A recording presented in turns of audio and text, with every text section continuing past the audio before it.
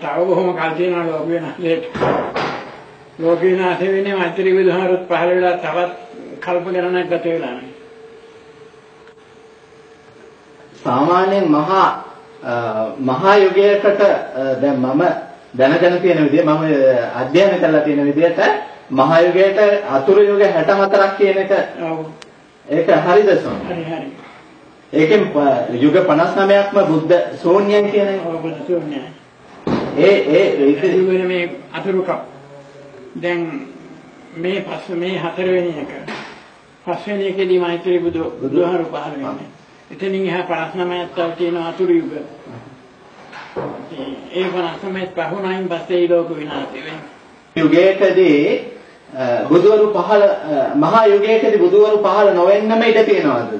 මහා යුගයකදී මේ පාරමී ධර්මයන් සම්පූර්ණ කරපු කෙනෙක් නොහිටියොත් පහළ වෙන්න පුළුවන්.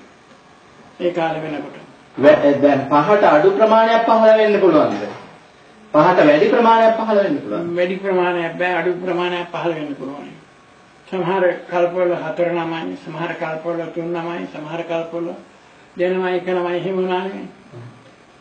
සාමාන්‍ය ධ්‍යාන ධ්‍යාන ලබා ගැනීමේදී ඒ ලක්ෂණ විස්තර අර සමාධියට වැටෙනවා දකින්න ලැබෙනවා. දැන් අපි ඒ විදිහට කරනකොට ගෞතම බුදුහාමුදුරන්ගේ විස්තර විතරයි ලැබෙන්නේ. පැරණි පෙර බුදුවරුන්ගේ විස්තර නොලැබීමට හේතුව මොකද? පෙර බුදුරුන්ගේ විස්තර මොකද තමයි දැනෙන්න වෙනවද? දැනෙනවා නමුත් දකින්නේ දෘශ්‍ය රූප වශයෙන් ඉන්නේ නෑ. ඒ ගැන තමයි හිතලා නෑ නෙමෙයි. ඒකනේ අපි ගෞතම බුදුහාමුදුරුවෝ ගැන නෙවෙයි දන්නේ හොඳටම. ඒ ඒ හේතුව. ඒකයි හේතුව. නැත්නම් ධාතු පරිනිර්වාණයම හේතු වෙන්නේ නැහැ. නෑ නෑ නෑ. දැන් ඒ වගේ යම් දෙයක් දැනගැනීමේදී හරි දේ මේකයි වැරදි දේ මේකයි කියලා බෙදලා වෙන් කරගන්නේ කොහොමද ඒක සමාජයේ නුවණ හරියට පාවිච්චි කරන්න ඕනේ. ඒක ඉතින් කාටවත් බෑ කියන්නේ ඒක. තමන් නුවණින් කරගන්න ඕන කරසන්නේ ඒක. ඥානය කියන්නේ ඒකට නෙවෙයි. දැනගන්න. මේක නිර්වාණ මාර්ගයටයි තියෙන්නේ. නිවන් මාර්ග පැත්තටයි තියෙන්නේ.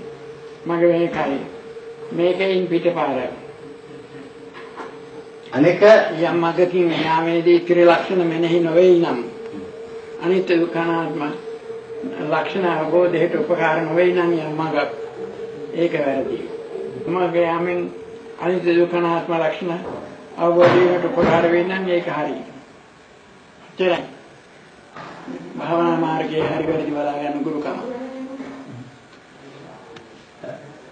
වේදේ පෙන්නන අර ආනන්දයේ ස්වභාවයයි නිර්වාණයයි වෙනස් වෙනස් වෙනස්. වෙනස් සම්පූර්ණ වෙනස්. එහෙන් පිටින්ම වෙනස්. ඒ ඒ ප්‍රධාන වෙනස කීපයක් මත ඒගොල්ලෝ ආත්මවාදී උද ඔක්කොම. සච්චිදානන්ද.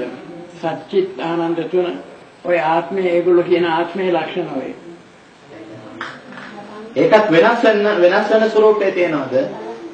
ආනන්දේ කියන එක ඒගොල්ලෝ කියන සච්චිත් ආනන්ද ඒගොල්ලන් කියන්නේ ඒක සදාකාලිකයි කියලා. නමුත් ඒක වෙනස් වෙනවා.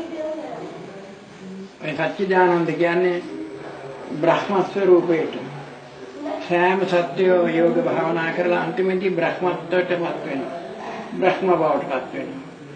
ඒ එකම බ්‍රහ්ම ස්වરૂපයටපත් වෙන බ්‍රහ්මයා ඒ බ්‍රහ්ම කියන්නේ ලෝකයේ හැමදැනම ප්‍රතිපවත්නා යම් කිසි ලෝකේ මවන ශක්තිය ආරක්ෂා කරන ශක්තිය ඕව ඇති තනි එක දෙයක් තියෙනවා ඒක තමයි බ්‍රහ්ම. ඉතින් අපි ඔක්කොම ඒකෙන් මතුවෙවි එන අය ඔක්කොම. සත්‍ය ඒකෙන් තමයි මතුවෙවි මතුවෙවි එන්නේ. සත්‍ය ඒකෙන් තමයි මතුවෙවි මතුවෙවි එන්නේ.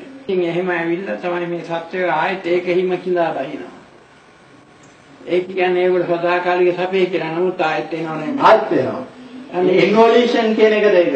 ඒක තමයි එවලුෂන් එකට කිට්ටුයි ඒක. ඉතින් ඒක ආයෙ ගිහිල්ලා ආයෙත් ඒකෙන් මෙහාට එන්න වෙනවා නම් සදාකාලික සපයක් වෙනින්ද ඒ ආනන්දේ. ආනන්දයට ගිහිල්ලා නැවත ලෝකේ නිර්මාණය කරනවා කියන්නේ ඒ ස්වરૂපේ. ආයෙත් සසරට එනවා. ඒක නිසා ඔය ගැන